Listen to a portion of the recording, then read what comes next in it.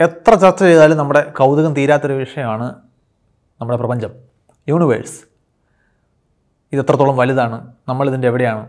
എന്താണ് ഈ പ്രപഞ്ചത്തിൽ നമ്മുടെ സ്ഥാനം? ഇങ്ങനെ നിരവധി ചോദ്യങ്ങൾ. അത് ശാസ്ത്രം പഠിച്ചവർക്കും ശാസ്ത്രം പഠിക്കാത്തവർക്കും ശാസ്ത്രത്തിൽ താല്പര്യമുള്ളവർക്കും ഇല്ലാത്തവർക്കും ഒക്കെ ഒരുപോലെയുള്ള കൗതുകങ്ങളാണ്. പക്ഷെ പലപ്പോഴും പ്രപഞ്ചത്തെക്കുറിച്ചിട്ടുള്ള ശാസ്ത്രം ഭൗതികശാസ്ത്രത്തിൽ അതിനെ കോസ്മോളജി അല്ലെങ്കിൽ പ്രപഞ്ചവിജ്ഞാനീയം എന്നാണ് വിളിക്കുന്നത്. അതായത് പ്രപഞ്ചത്തെക്കുറിച്ച് പഠിക്കുന്ന പ്രപഞ്ചത്തിന്റെ ഉൽപ്പത്തിയെക്കുറിച്ചും അതിന്റെ പരിണാമത്തെക്കുറിച്ചും ഒക്കെ പഠിക്കുന്ന ഭൗതികശാസ്ത്ര ശാഖയാണ് കോസ്മോളജി. കോസ്മോളജിയിലെ പല അറിവുകളും പല പോപ്പുലർ സയൻസ് പുസ്തകങ്ങളുടെയും പൊതുജനമധ്യത്തിലേക്ക് വരാറുണ്ടെങ്കിലും പലപ്പോഴും അതിനെക്കുറിച്ചിട്ടുള്ള തർക്കങ്ങളും സംശയങ്ങളും തുടരാറുണ്ട്. പലപ്പോഴും ആളുകൾക്കത് അത്ര ദഹിക്കാറില്ല. അതുകൊണ്ട് തന്നെ അന്ധവിശ്വാസങ്ങളുമായിട്ട് കൂടിപ്പണഞ്ഞു കിടക്കുന്ന വിശ്വാസ പ്രമാണങ്ങളുമായി കൂടിപ്പണഞ്ഞു കിടക്കുന്ന സിദ്ധാന്തങ്ങൾക്ക് വേണ്ടി വാദിക്കുന്നവർ ഭൗതിക ശാസ്ത്രത്തിലെ പ്രപഞ്ചത്തെക്കുറിച്ചുള്ള ധാരണകളെ പലപ്പോഴും തള്ളിക്കളയാറുണ്ട്. അതിനുള്ള തെളിവുകൾ എന്താണെന്ന് പോലും അന്വേഷിക്കാതെ ഇത് പ്ര പ്രത്യ പ്രഥമ ദൃഷ്ടിയാൽ തന്നെ തള്ളിക്കളയാവുന്നത്ര സാമാന്യ ബുദ്ധിക്ക് നിരക്കാത്ത വാദങ്ങളാണ് എന്ന് ആരോപിക്കാറുണ്ട്. ഇതിൽ ചില ശരികളുണ്ട്.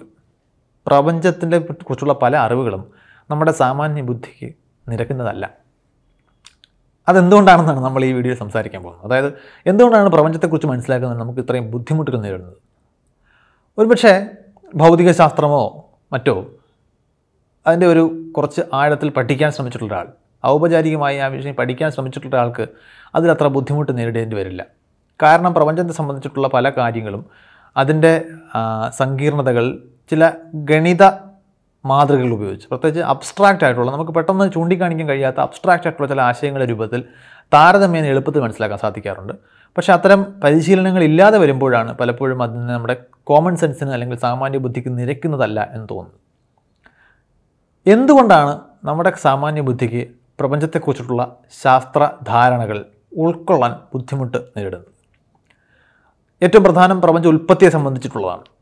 അതിന് ദൈവവിശ്വാസവുമായിട്ട് ബന്ധപ്പെട്ട് നിരവധി വാദങ്ങൾ നിലവിലുണ്ട്. ഇവിടെ ദൈവത്തിന് പ്രപഞ്ചോൽപ്പത്തിയിലുള്ള റോളിനെക്കുറിച്ച് നമ്മളൊന്നും സംസാരിക്കുന്നില്ല. കാരണം ശാസ്ത്രത്തിൽ തൽക്കാലം ദൈവം എന്ന് പറയുന്ന ഒരു ആശയത്തിന് പങ്കൊന്നുമില്ല. അതിന് പ്രത്യേകിച്ച് സ്ഥാനവുമില്ല. ആരും അതിനെ ഗൗരവമായിട്ട് കാണുന്നുമില്ല.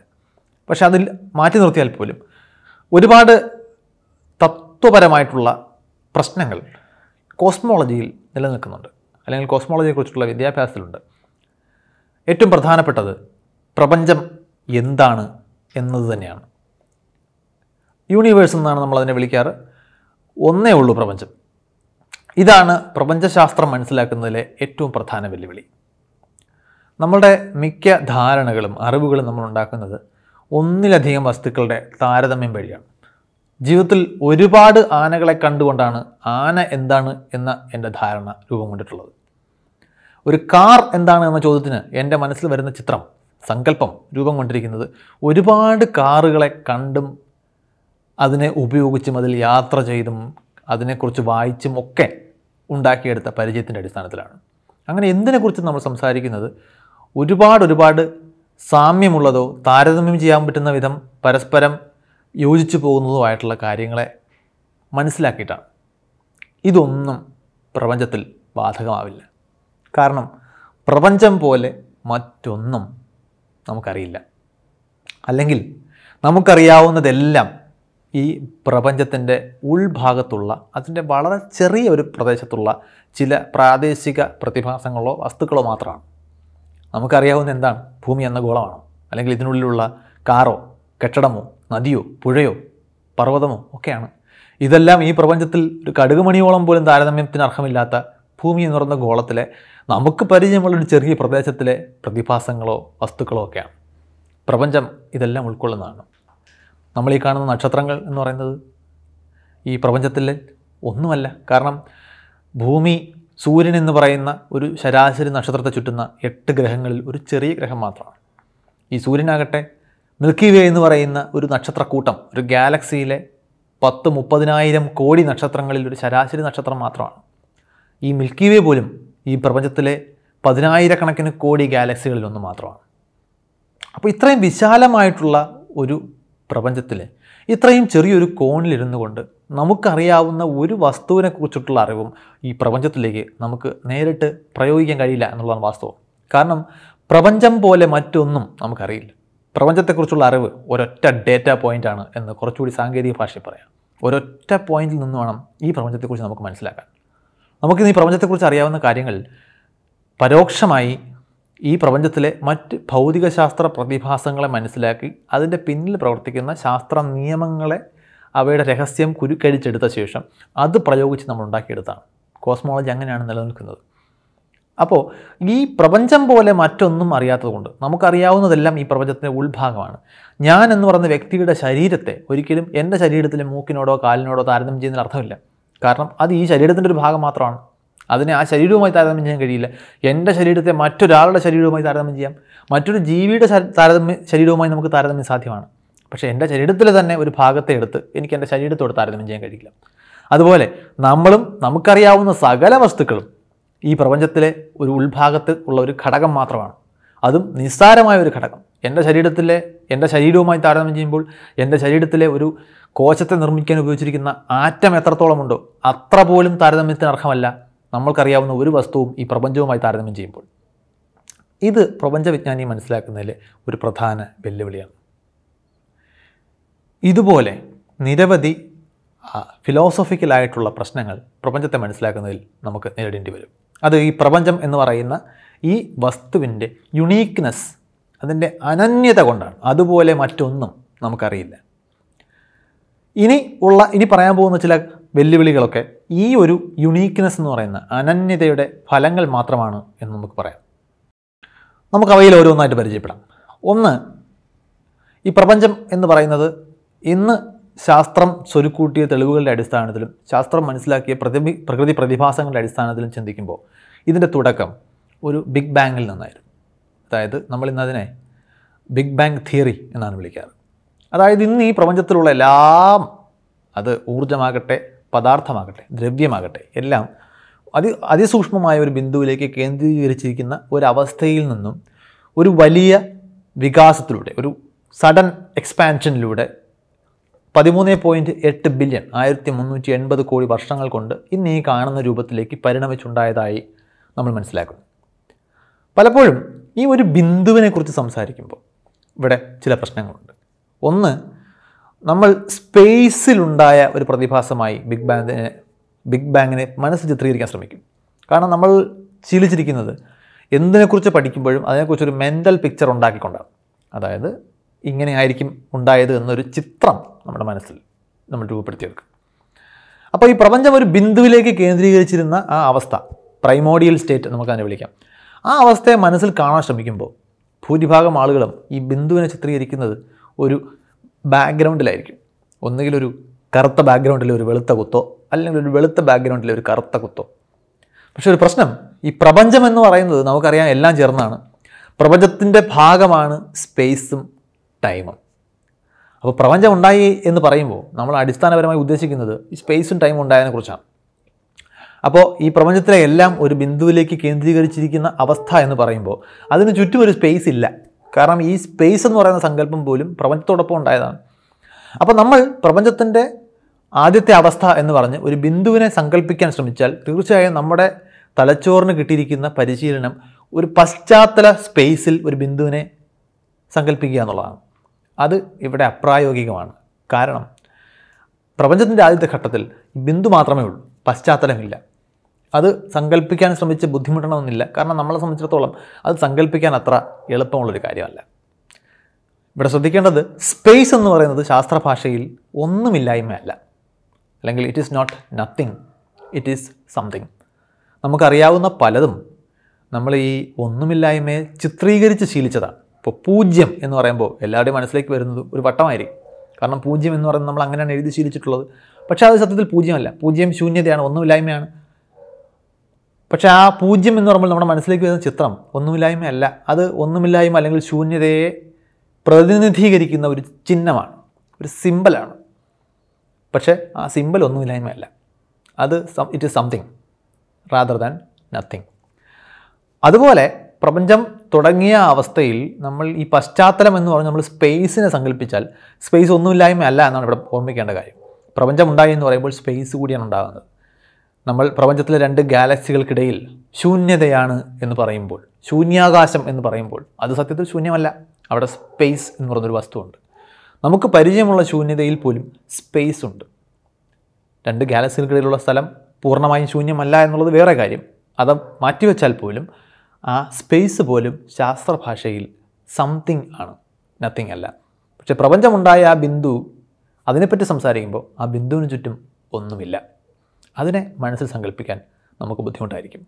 മറ്റൊന്ന് ആ ബിന്ദുവിൽ നിന്നുള്ള പ്രപഞ്ചത്തിന്റെ ആ ഉൽപ്പത്തി ആ മുന്നോട്ടുള്ള പരിണാമം അതിനെ നമ്മൾ ബിഗ് ബാങ് എന്ന് വിളിക്കും. മലയാളത്തിലേക്ക് പരിഭാഷപ്പെടുത്തുമ്പോൾ അതിനെ മഹാവിസ്ഫോടന സിദ്ധാന്തം എന്ന് പൊതുവിൽ പരിഭാഷപ്പെടുത്തി കണ്ടിട്ടുണ്ട്. അതിലൊരു തെറ്റിദ്ധാരണകരമായിട്ടുള്ള വാക്ക് പ്രയോഗമുണ്ട്. അത് ഈ വിസ്ഫോടനം എന്ന് പറയുന്ന വാക്കാണ്. എക്സ്പ്ലോഷൻ എന്നാണ് അതുകൊണ്ട് ഉദ്ദേശിക്കുന്നത്.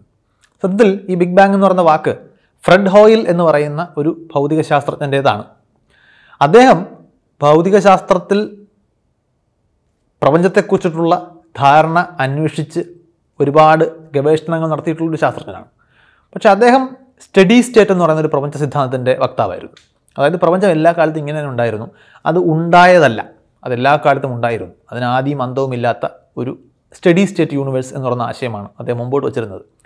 അത് ആയിരത്തി തൊള്ളായിരത്തി അൻപതുകളിലൊക്കെയാണ്. ആ സമയത്ത് ഇന്ന് നമുക്കറിയാവുന്ന പല കാര്യങ്ങളും നിരീക്ഷണപരമായിട്ടുള്ള തെളിവുകളും ഒന്നും നമുക്ക് അറിയില്ല അന്ന് സ്റ്റഡി സ്റ്റേറ്റ് സിദ്ധാന്തത്തിന്റെ വക്താവായിരുന്ന ഫ്രെഡ് ഹോയിൽ ഈ എക്സ്പാൻഡിങ് യൂണിവേഴ്സ് വികസിച്ചുകൊണ്ടിരിക്കുന്ന പ്രപഞ്ചം എന്ന ആശയത്തെക്കുറിച്ചുള്ള ഒരു ചോദ്യത്തിന് മറുപടിയായി ഒരു ബി ബി സി ഇന്റർവ്യൂവിൽ ഉപയോഗിച്ച വാക്കാണ് ദ ബിഗ് ബാങ് എന്നുള്ളത്. അത് അദ്ദേഹം പറഞ്ഞത് അങ്ങനെ ഒരു വലിയ പൊട്ടിത്തെറിയിലൂടെ പ്രപഞ്ചം ഉണ്ടായതായി എന്ന് ഞാൻ കരുതുന്നില്ല. അദ്ദേഹം ആ പൊട്ടിത്തെറി എന്ന് പറഞ്ഞ വാക്ക് സത്യത്തിൽ ഒരല്പം ആലങ്കാരികമായി പ്രയോഗിച്ചതാണ്. പിന്നീട് നമ്മുടെ അന്വേഷണങ്ങൾ നമ്മുടെ ഗവേഷണങ്ങൾ പ്രപഞ്ചത്തിലെ നിരീക്ഷിക്കാൻ വേണ്ടി നമ്മൾ ടെലിസ്കോപ്പിന്റെ ഇതുൾപ്പെടെയുള്ള സാങ്കേതികവിദ്യയിൽ വിദ്യയിൽ നേടിയ പുരോഗതി തുടർന്ന് ഒരുപാട് ഒരുപാട് പുതിയ തെളിവുകൾ വന്നതോടുകൂടി ബിഗ് ബാങ് സിദ്ധാന്തത്തിന് ഫ്രെഡ് ഹോയിൽ ബിഗ് ബാങ് എന്ന് വിളിച്ച് കളിയാക്കിയ ആ സിദ്ധാന്തത്തിന് അനുകൂലമായ തെളിവുകളാണ് പിന്നീട് കിട്ടിയത് മുഴുവൻ. ഇന്ന് സ്റ്റഡി സ്റ്റേറ്റ് സിദ്ധാന്തം മുഖ്യധാര ഭൗതികശാസ്ത്രത്തിൽ അത്ര ഗൗരവകരമായി പരിഗണിക്കപ്പെടുന്നില്ല. ബിഗ് ബാങ് സിദ്ധാന്തം ഇന്ന് കൂടുതൽ പരക്കെ അറിയപ്പെടുന്നതും അംഗീകരിക്കപ്പെടുന്നതും അതിന് ലഭിച്ച കൂടുതൽ കൂടുതൽ തെളിവുകളുടെയും മറ്റ് പിൻബലം കൊണ്ടാണ്. പക്ഷേ അതിനെ എതിർത്തുകൊണ്ടാണെങ്കിൽ പോലും ഫ്രെഡ് ഹോയിൽ നൽകിയ ആ പേര് അങ്ങ് പതിഞ്ഞു പോയി എന്നേ ഉള്ളൂ. ആ ബാങ് എന്ന് പറയുന്ന വിസ്ഫോടനം എന്ന് പറയുന്ന പ്രയോഗം സത്യത്തിൽ തെറ്റിദ്ധരിപ്പിക്കുന്നതാണ്. കാരണം നമുക്കറിയാവുന്ന വിസ്ഫോടനങ്ങളൊക്കെ ഒരു ഊർജം പുറത്തേക്ക് വരുന്ന പ്രക്രിയയാണ്. അതായത് എവിടെയെങ്കിലും ശേഖരിച്ചിരിക്കുന്ന കെമിക്കലോ ന്യൂക്ലിയറോ ആയിട്ടുള്ള ഊർജം എന്തെങ്കിലും ഒരു പ്രോസസ്സിന്റെ ഫലമായിട്ട് പെട്ടെന്ന് പുറത്തേക്ക് റിലീസ് ചെയ്യപ്പെടുകയാണ് എക്സ്പ്ലോഷൻ സംഭവിക്കുന്നത് അപ്പോൾ ബോംബ് പൊട്ടുന്നതോ പടക്കം പൊട്ടുന്നതോ ഒക്കെ സങ്കല്പിച്ച് കഴിഞ്ഞാൽ അവിടെ അതാണ് സംഭവിക്കുന്നത്. അതിനെ ഒരിടത്ത് ഞെരുക്കി വെച്ചിട്ട് നമ്മൾ ഈ അകത്തെ കെമിക്കൽസിനെ എക്സ്പാൻഡ് ചെയ്യാൻ അനുവദിക്കുമ്പോൾ അത് ചുറ്റുമുള്ള വസ്തുക്കളെ പൊട്ടി പുറത്തേക്ക് ചിതറിക്കുകയാണ് ചെയ്യുന്നത്. അതിന്റെ ഭാഗമായിട്ട് ഷോക്ക് വേവും ഹീറ്റും സൗണ്ടും ഒക്കെ പുറത്തേക്ക് വരും. അത് ഓൾറെഡി നിലനിൽക്കുന്ന ഇതിനകം അതിന് ചുറ്റും ഉള്ള ഒരു സ്പേസിലേക്കാണ് സംഭവിക്കുന്നത്. ആ സ്പേസ് അവിടെ ഉണ്ട്. ആ സ്പേസിലേക്ക് ഇതിന്റെ കഷ്ണങ്ങൾ തെറിക്കുന്നു. അതിന്റെ ഊർജം പ്രസരിക്കപ്പെടുന്നു. പക്ഷേ ബിഗ് ബാങ് എന്ന് പറയുന്ന ആ പ്രക്രിയ നടക്കുമ്പോൾ അങ്ങനെ പൊട്ടിച്ചു തരാൻ സ്പേസ് വെളിയിലില്ല. കാരണം സ്പേസും കൂടെ ഇതിന്റെ ഭാഗമായിട്ട് ഉണ്ടാകുന്നേ ഉള്ളൂ. അതിന് വെളിയിലൊരു സ്പേസ് ഇല്ല. അപ്പോൾ പ്രപഞ്ചം എവിടേക്കാണ് വികസിച്ച് ചെല്ലുന്നതെന്ന ചോദ്യത്തിന് ഉത്തരം എവിടേക്കും പ്രപഞ്ചം വികസിക്കുന്നില്ല. പ്രപഞ്ചം വികസിച്ചുകൊണ്ടിരിക്കുന്നു എന്ന് മാത്രം നമുക്കറിയും. അതിന് പുറത്തേക്ക് വികസിക്കാൻ അതിന് വെളിയിൽ എന്തെങ്കിലും വേണ്ടേ? അതിന് വെളിയിൽ എന്തെങ്കിലും ഉണ്ടെങ്കിൽ പിന്നെ ഇതിനെ പ്രപഞ്ചം എന്ന് വിളിക്കാൻ കഴിയില്ലല്ലോ. കാരണം പ്രപഞ്ചം എല്ലാം ചേർന്നതാണ്. പ്രപഞ്ചത്തിന് വെളിയിൽ ഒന്നിനും സാധ്യമല്ല. കാരണം പ്രപഞ്ചം എന്ന് പറയുന്ന സങ്കല്പത്തിന്റെ ഡെഫിനിഷൻ നിർവചനം തന്നെ എല്ലാത്തിനെയും ഉൾക്കൊള്ളുന്ന രീതിയിലാണ്. അപ്പോൾ പ്രപഞ്ചത്തിന് വെളിയിൽ ഒന്നും സാധ്യമല്ല. പ്രപഞ്ചത്തിന് വെളിയിൽ ഒന്നും സാധ്യമല്ല. എല്ലാത്തിനെയും പ്രപഞ്ചം ഉൾക്കൊള്ളുന്നതുകൊണ്ട് പ്രപഞ്ചം ഒന്നിലേക്കും വികസിച്ച് ചെല്ലുകയല്ല. പ്രപഞ്ചം അങ്ങ് വികസിച്ചുകൊണ്ടിരിക്കുകയാണ്. പ്രപഞ്ചം വികസിക്കുന്നതിന്റെ ഭാഗമായി സ്പേസ് ഉണ്ടാക്കപ്പെടുകയാണ് ചെയ്യുന്നത്. അങ്ങനെയാണ് നമ്മളതിനെ മനസ്സിലാക്കേണ്ടത്. ഇതും നമ്മുടെ സാമാന്യ ബുദ്ധിക്ക് പെട്ടെന്ന് നിരക്കുന്നതല്ല. ഓർമ്മിപ്പിക്കുന്നു പ്രപഞ്ചം പോലെ മറ്റൊന്നും നമുക്കറിയില്ല. അതുകൊണ്ട് പ്രപഞ്ചത്തിലെ ചില കാര്യങ്ങളും സംഭവങ്ങളും വസ്തുക്കളെയും കണ്ട് നമ്മൾ രൂപപ്പെടുത്തിയെടുത്ത ഈ സാമാന്യ ബുദ്ധി എന്ന് പറയുന്ന ഭാരം അത് പ്രപഞ്ചത്തെക്കുറിച്ചുള്ള മനസ്സിലാക്കൽ നമുക്ക് ശരിക്കും വെല്ലുവിളിയാണ് ഉയർത്തുക സഹായകരമാവുകയല്ല പിന്നെ മറ്റൊരു ചോദ്യം പ്രപഞ്ചവുമായിട്ട് ബന്ധപ്പെട്ട ആൾക്കാർ ചോദിക്കുന്നത് ഈ പ്രപഞ്ചത്തിന്റെ കേന്ദ്രം എവിടെയാണ്? നമുക്കറിയാം ഒരു ഒറ്റ ബിന്ദുവിൽ കേന്ദ്രീകരിച്ചിരുന്ന പ്രപഞ്ചം വികസിച്ച് ഇന്ന് ഈ കാണുന്ന പ്രപഞ്ചമായി മാറുമ്പോൾ ആ ബിഗ് ബാങ് ഉണ്ടായ ഒരു സ്ഥലമായിരിക്കുമല്ലോ അതിന്റെ കേന്ദ്രം. അങ്ങനെയാണെങ്കിൽ അത് എവിടെയായിരിക്കും? ആ ചോദ്യത്തിന് ഒരു പ്രശ്നമുണ്ട്. പ്രപഞ്ചത്തിന് ഒരു കേന്ദ്രത്തിൽ നിന്നും ചുറ്റുപാടും ഉണ്ടായി വരികയല്ല ചെയ്യുന്നത്. മറിച്ച് ആ ബിന്ദുവായിരുന്നു പ്രപഞ്ചം. ആ ബിന്ദുവാണ് ഇന്നീ കാണുന്ന പ്രപഞ്ചമായി മാറിയത്. അപ്പോൾ ഞാൻ ജനിക്കുമ്പോൾ എനിക്ക് കയ്യിലുള്ള ഒരു മുതിർന്ന ആളിന് കൈവെള്ളയിൽ എടുക്കാവുന്ന വലിപ്പമേ എന്റെ ശരീരത്തിനുണ്ടായിരുന്നുള്ളൂ. ആ കുഞ്ഞിപ്പോൾ എവിടെയാണ് എന്ന് ചോദിക്കുന്ന പോലെയാണ്. ആ കുഞ്ഞ് തന്നെയാണ് ഈ ഇരിക്കുന്ന ഞാനായി മാറിയത്. ആ കുഞ്ഞ് എന്റെ ശരീരത്തിന് നടുക്കില്ല. ആ കുഞ്ഞ് തന്നെയാണ് ഈ ഞാനായി മാറിയിരിക്കുന്നത്. അതുപോലെ ആ ബിന്ദു എന്തായിരുന്നു? ആ ബിന്ദു തന്നെയാണ് ഈ പ്രപഞ്ചമായി മാറിയത്. ഇന്ന് ആ ബിന്ദുവിനെ പ്രപഞ്ചത്തിനുള്ളിൽ അന്വേഷിക്കുന്നതിൽ അർത്ഥമില്ല. കാരണം ആ ബിന്ദു ആയിരുന്നു അന്നത്തെ പ്രപഞ്ചം. ആ ബിന്ദു തന്നെയാണ് ഇന്നത്തെ പ്രപഞ്ചമായി മാറിയത്.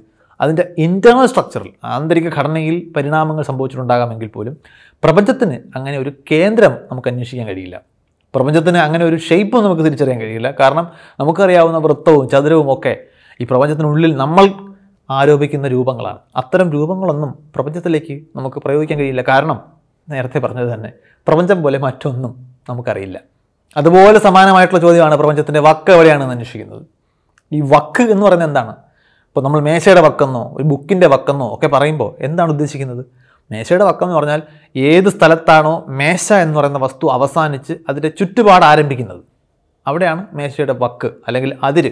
ഇന്ത്യയുടെ ബൗണ്ടറി എവിടെയാണ്? ഇന്ത്യ എന്ന് പറയുന്ന പൊളിറ്റിക്കൽ റീജിയൻ അവസാനിച്ച് മറ്റൊരു പ്രദേശം തുടങ്ങുന്ന പ്രദേശത്താണ് നമ്മുടെ അതിര് വരുന്നത് ബൗണ്ടറി പ്രപഞ്ചം എവിടെയെങ്കിലും അവസാനിച്ച് മറ്റൊന്ന് തുടങ്ങുന്നു എന്ന് പറയുന്നത് എങ്ങനെയാണ്? കാരണം പ്രപഞ്ചമല്ലാതെ മറ്റൊന്നും വെളിയിലില്ല. പ്രപഞ്ചം മാത്രമേ ഉള്ളൂ. അതൊന്നേ ഉള്ളൂ. നമുക്ക് നേരത്തെ പറഞ്ഞതുപോലെ അതാണ് ഇവിടെയും അടിസ്ഥാന പ്രശ്നം. പ്രപഞ്ചത്തിന് വെളിയിൽ പ്രപഞ്ചമല്ലാതെ മറ്റൊന്ന് തുടങ്ങിയാലല്ലേ പ്രപഞ്ചത്തിന്റെ വക്ക് കണ്ടെത്താൻ കഴിയും. അപ്പോൾ പ്രപഞ്ചത്തിന്റെ കേന്ദ്രം എവിടെയാണ് എന്ന ചോദ്യം പോലെ തന്നെ പ്രശ്നം പിടിച്ചൊരു ചോദ്യമാണ് പ്രപഞ്ചത്തിന്റെ വക്ക് എവിടെയാണ് എന്നുള്ളത്. ഇനി ഈ കൂട്ടത്തിൽ ഏറ്റവും കുഴപ്പം പിടിച്ച ചോദ്യം ബിഗ് ബാങ്ങിന് മുമ്പ് എന്തായിരുന്നു എന്നുള്ളതാണ്. നമുക്കറിയാം ബിഗ് ബാങ്ങിലൂടെയാണ് പ്രപഞ്ചം ഉണ്ടായത് എന്ന് ശാസ്ത്രം പറയുമ്പോൾ അങ്ങനെയെങ്കിൽ ബിഗ് ബാങ്ങിന് മുമ്പ് എന്തായിരുന്നു? ഇവിടെയും സത്യത്തിൽ തർക്കുത്തരം പോലെ തോന്നിക്കാവുന്ന ഒരു ഉത്തരമുണ്ട്. അത് പ്രപഞ്ചം ഉണ്ടായി എന്ന് പറയുമ്പോൾ ശാസ്ത്രം പറയുന്നത് സ്പേസ് ടൈം ഉണ്ടായി എന്നാണ്. നമ്മൾ ഈ കാണുന്ന സ്ഥലവും കാലവും സ്പേസ് ആൻഡ് ടൈം ഇത് രണ്ടുമാണ് പ്രപഞ്ചമായി നമ്മൾ കണക്കാക്കുന്നത്. ഇതാണ് ബിഗ് ബാങ്ങിലൂടെ ഉണ്ടായത്. അതായത് ബിഗ് ബാങ്ങിലൂടെയാണ് സമയം ഉണ്ടാകുന്നത്. സമയം ഇല്ലാത്തൊരു കാലത്ത് മുൻപ് ശേഷം എന്നിങ്ങനെ നമ്മളെങ്ങനെ വേർതിരിക്കും? ഉദാഹരണത്തിന് നമ്മൾ വടക്കോട്ട് എന്ന് പറയുന്നതും തെക്കോട്ട് എന്ന് പറയുന്നതുമൊക്കെ ചില ദിശകളെ നമ്മൾ റെഫറൻസ് ആക്കി വെച്ചുകൊണ്ടാണ്. ഇപ്പോൾ നമ്മൾ വടക്ക് എന്ന് പറയുന്ന ഭൂമിയുടെ ഉത്തര ധ്രുവത്തെ അടിസ്ഥാനപ്പെടുത്തിയിട്ടാണ്. ഭൂമി സ്വയം കറങ്ങുന്ന അതിന്റെ സാങ്കല്പിക അച്ചുതണ്ട് ഭൂമിയുടെ ഉപരിതലത്തെ രണ്ട് സ്ഥലങ്ങളിൽ കട്ട് ചെയ്ത് വെളിയിൽ വരുന്നുണ്ടാവും. ഒരു സാങ്കല്പിക അച്ചുതണ്ടാണ്. ആ രണ്ട് ബിന്ദുക്കളാണ് നമ്മൾ ധ്രുവങ്ങളെന്ന് വിളിക്കുന്നത്. അതിലൊരു ധ്രുവത്തെ നമ്മൾ ഉത്തര ധ്രുവം എന്ന് വിളിക്കുന്നു.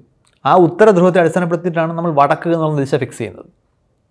പക്ഷേ നിങ്ങൾ സഞ്ചരിച്ച് ഉത്തര ധ്രുവത്തിലെത്തി എന്ന് വിചാരിക്കുക. ആ ബിന്ദുവിലെത്തി. ഉത്തര ധ്രുവത്തിൽ എത്താൻ പറ്റില്ല. കാരണം അവിടെ കടലാണ്. അവിടെ കരയില്ല. പക്ഷേ സങ്കല്പത്തിൽ ആ ഉത്തര ധ്രുവം എവിടെയാണോ ആ സ്ഥാനത്ത് നിങ്ങൾ എത്തി എന്ന് വിചാരിക്കുക. അവിടെ നിന്നുകൊണ്ട് നിങ്ങൾ എങ്ങനെയാണ് വടക്ക് പറയുക? കാരണം ഭൂമിയിൽ മറ്റൊരു പ്രദേശത്തും നിങ്ങൾക്ക് ഈ പ്രശ്നമില്ല. അത് വടക്കേ ധ്രുവം എങ്ങോട്ടാണ് എന്ന് നോക്കിയാൽ മതി. അതാണ് നിങ്ങളുടെ വടക്ക് ദിശ. പക്ഷേ ഈ വടക്കേ ധ്രുവത്തിലെത്തുമ്പോൾ പെട്ടെന്ന് ഈ നിർവചനം അപ്രസക്തമാകും. അതായത് നിങ്ങളുടെ റെഫറൻസ് അവിടെ അവസാനിച്ചു. അവിടെ നിന്നുകൊണ്ട് വടക്ക് എന്ന ദിശയ്ക്ക് പ്രസക്തിയില്ലാതെ വരും. ഇതിന് തുടർച്ചയായി പറയേണ്ട മറ്റൊരു കാര്യം കൂടിയുണ്ട്. അത് ഈ സിംഗുലാരിറ്റി എന്ന് പൊതുവിൽ ആളുകൾ പറഞ്ഞു കേൾക്കാറുള്ള ഒരു വാക്കാണ്. അതിന് ഈ സമയത്തിന്റെ നിർവചനവുമായിട്ട് ചേർത്ത് മനസ്സിലാക്കാൻ പറ്റും. സമയം എന്തുകൊണ്ടാണോ പ്രപഞ്ചം ഉണ്ടായ സമയത്ത് തുടങ്ങിയത് കൊണ്ട് അതിന് മുമ്പ് എന്ന ചോദ്യത്തിന് പ്രസക്തി ഇല്ലാതെ വരുന്നത്. ഇപ്പോൾ സ്വാതന്ത്ര്യം കിട്ടിയ ഒരു സമയമുണ്ട്. ഇന്ത്യയ്ക്ക് എന്നാണ് സ്വാതന്ത്ര്യം കിട്ടിയത്? നമുക്കൊരു ഡേറ്റ് പറയാൻ പറ്റും. കാരണം അതിന് മുമ്പും സമയമുണ്ടായിരുന്നു. അതിന് ശേഷവുമുണ്ട്. അപ്പോഴും സമയമുണ്ടായിരുന്നു. അപ്പോൾ ഒരു ബിന്ദുവിനെ പ്രസന്റാക്കി നിർത്തിക്കൊണ്ട് നമുക്ക് അതിന്റെ ഫ്യൂച്ചറും പാസ്റ്റും ഭൂതകാലവും ഭാവികാലവും പറയാൻ പറ്റും. പക്ഷേ ഒരു സമയം തുടങ്ങുന്ന ഒരു ബിന്ദു അതിനു മുമ്പ് സമയമില്ല. അപ്പോൾ ശരിക്കും അതിന് മുമ്പ് എന്ന പ്രയോഗത്തിന് തന്നെ അർത്ഥമില്ല. കാരണം മുൻപ് ശേഷം എന്നീ വാക്കുകൾ ഉപയോഗിക്കണമെങ്കിൽ സമയം എന്ന് പറയുന്നത് ഒരു കണ്ടിന്യൂറ്റി ആയിട്ട് ഒരു അനുസ്യൂതമായി അവിടെ ഉണ്ടാവണം. പക്ഷേ ഈ സമയം ബിഗ് ബാങ്കിൽ അങ്ങനെ കണ്ടിന്യൂസ് അല്ല. അത് അവിടെ നിന്ന് തുടങ്ങുന്നതേ ഉള്ളൂ. അപ്പോൾ ശരിക്കും ബിഗ് ബാങ്കിന് മുമ്പ് എന്ന ചോദ്യത്തിന് പ്രസക്തിയില്ല. ആ ഒരു പോയിന്റിൽ ഭൂമിയിൽ പ്രപഞ്ചത്തിലെ സമയം മുഴുവൻ എടുക്കുമ്പോൾ ആ പ്രപഞ്ചം ഉണ്ടായ സമയത്തിന് മാത്രമാണ് ഈ പ്രശ്നമുള്ളത് ബാക്കി ഏത് സമയത്ത് നിങ്ങൾക്ക് അതിന് മുമ്പ് എന്താണെന്ന് ചോദിക്കാം. പക്ഷേ പ്രപഞ്ചം ഉണ്ടായ സമയത്ത് മുമ്പ് എന്തായിരുന്നു എന്ന ചോദ്യത്തിന് പ്രസക്തി ഇല്ലാതെ വരുന്നു. ആ ചോദ്യം അർത്ഥമില്ലാത്തതായി മാറുന്നു. അതുപോലെ നേരത്തെ പറഞ്ഞ സിംഗുലാരിറ്റി എന്ന് പറഞ്ഞ വാക്ക്. അതായത് നമുക്കറിയാവുന്ന സകല ഭൗതിക നിയമങ്ങളും ഒരു പ്രത്യേക ബിന്ദുവിൽ ഇല്ലാതാകും. അതില്ലാതാകുന്നത് അവിടെ അതിന്റെ നിർവചനം അസാധ്യമാകും. യോഗത്തെ ഏത് സങ്കീർണ ഗണിതശാസ്ത്രം കൈകാര്യം ചെയ്യുന്ന ഗണിതശാസ്ത്ര വിദഗ്ധനും പൂജ്യം കൊണ്ട് ഹരിക്കാൻ കഴിയില്ല. എന്തുകൊണ്ടാണ്? നമുക്കറിയാവുന്ന ഗണിതശാസ്ത്രത്തിൽ മനുഷ്യർ കൺ ഉപയോഗിക്കുന്ന ഗണിതശാസ്ത്രത്തിൽ ഡിവിഷൻ ബൈ സീറോ പൂജ്യം കൊണ്ട് ഹരിക്കുക എന്ന് പറയുന്ന പ്രയോഗം നിർവചിക്കപ്പെട്ടിട്ടില്ലാത്തതാണ്. ഇൻഡിറ്റർമിനേറ്റ് എന്ന് വിളിക്കും. അപ്പോൾ ആ ബിന്ദുവിൽ ആ ഗണിതശാസ്ത്രത്തിന്റെ സകല അറിവുകളും വിജ്ഞാനവും അപ്രസക്തമാകും. അതിനോട് പ്രയോഗിക്കാൻ കഴിയില്ല. അതുപോലെ പ്രപഞ്ചം ഉണ്ടായതായി നമ്മൾ കരുതുന്ന ആദ്യത്തെ ബിന്ദുവിൽ ബിഗ് ബാങ്ങിന് തൊട്ട് എന്ന് നടക്കുന്ന ആ ഇൻസ്റ്റന്റിൽ നമുക്കറിയാവുന്ന ഭൗതിക നിയമങ്ങൾ അപ്രസക്തമാകും. അത് പ്രയോഗിക്കാൻ കഴിയില്ല. നിലവിലുള്ള നിയമങ്ങൾ അവിടെ സാധ്യമാണ് അതുകൊണ്ട് ആ അറിവില്ലായ്മയെ സൂചിപ്പിക്കാൻ വേണ്ടി നമ്മൾ ഉപയോഗിക്കുന്ന വാക്കാണ് സിംഗുലാരിറ്റി ഇനിഷ്യൽ സിംഗുലാരിറ്റി അല്ലെങ്കിൽ ആ ആരംഭ സമയത്തെ സിംഗുലാരിറ്റി പൊതുവെ സിംഗുലാരിറ്റി എന്തായിരുന്നു എന്നതിനെക്കുറിച്ച് പല പോപ്പുലർ സയൻസ് പുസ്തകങ്ങളിലും അതിന്റെ വർണനകൾ കാണാറുണ്ട്. പക്ഷേ അതിനകത്തൊരു പ്രശ്നമുള്ളത്.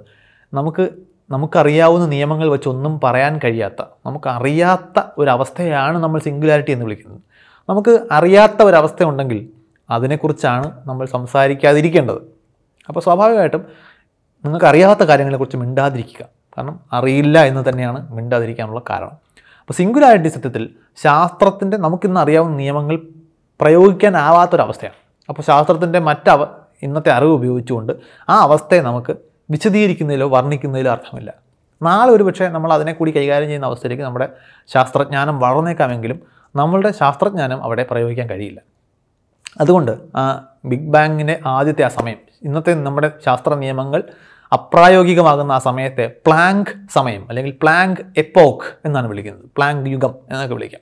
ആ സമയത്ത് നമുക്ക് നിലവിലുള്ള പ്രയോ ശാസ്ത്ര പ്രയോഗങ്ങൾ അസാധ്യമായതുകൊണ്ട് മാത്രമാണ് അതിനെ സിംഗുലാരിറ്റി എന്ന് വിളിക്കുന്നത്. അതേപോലെ തന്നെയാണ് പൂജ്യം കൊണ്ടുള്ള ഹരണം ഡിവിഷൻ ബൈ സീറോയെയും ഒരു തരത്തിൽ ഒരു സിംഗുലാരിറ്റിയാണ് എന്ന് നമുക്ക് വിളിക്കാം. നമുക്കറിയാവുന്ന താരതമ്യം ചെയ്യാൻ കഴിയാവുന്ന ഒരു സിംഗുലാരിറ്റി ഒരു കാര്യം കൂടി പറഞ്ഞ് ഇതങ്ങ് അവസാനിപ്പിക്കണം. ബിഗ് ബാങ്ങിൽ എവിടെയാണ് ദൈവം? പലപ്പോഴും ഈ ദൈവമാണ് ബിഗ് ബാങ്ങിനെ എതിർക്കുന്നതിന് പലരുടെയും കാരണം. പക്ഷേ സത്യത്തിൽ ദൈവം എന്ന് പറയുന്ന ആശയം നമുക്ക് ബിഗ് ബാങ്കുമായി ചേർത്ത് സംസാരിക്കേണ്ട അതുപയോഗിച്ച് തെളിയിക്കുകയോ ശരിയാണെന്നോ തെറ്റാണെന്നോ തെളിയിക്കുകയോ ചെയ്യാവുന്ന ഒരു ആശയമല്ല. അത് ഇതിൽ നിന്നൊക്കെ വെളിയിൽ നിൽക്കുന്ന ഒരു ആശയമാണ്. ശാസ്ത്രത്തിന്റെ കണ്ണിലൂടെ പ്രപഞ്ചത്തെ വിശദീകരിക്കാൻ ശ്രമിക്കുമ്പോൾ ശാസ്ത്രജ്ഞനാരും തന്നെ ദൈവത്തെ അതിലേക്ക് തിരികാറില്ല. ദൈവം എന്ന് പറയുന്ന ആശയം ആവശ്യമാണെന്ന് കരുതുന്ന ആളുകളാണ് പലപ്പോഴും പ്രപഞ്ചോൽപ്പത്തിയിലും തേങ്ങയിൽ വെള്ളം നിറയ്ക്കുന്നതിലും ഒക്കെ ആ സങ്കല്പത്തെ കൊണ്ട് തിരികാൻ ശ്രമിക്കുന്നത്. ശാസ്ത്രത്തിന് തൽക്കാലം അതിന്റെ ആവശ്യമില്ല.